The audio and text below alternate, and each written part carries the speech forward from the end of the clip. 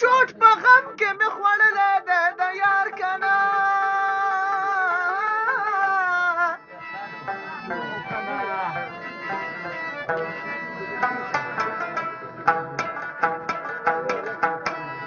لا تر اوسه خوند زما دهان کې پروت دی او چاټ د شونډو مې خوړلی ام